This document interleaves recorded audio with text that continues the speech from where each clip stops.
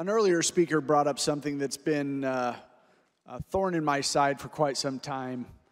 It's the equal application of the law in the state of Illinois.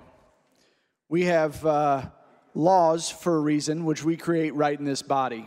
And if we think those laws are not working properly, we should be changing them, not allowing prosecutors to decide whether or not to prosecute these laws.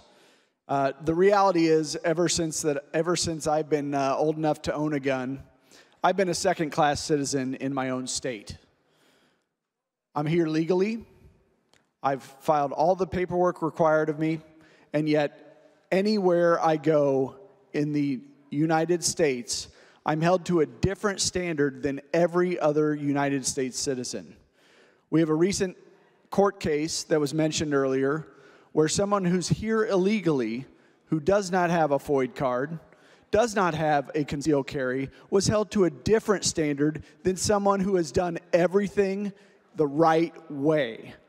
Why do we continue in this state to go after people who are doing the right thing, abiding by the law, not committing crimes, while we let people who commit crimes using the same firearms that you're coming after, we don't do anything to them. We don't do anything to them.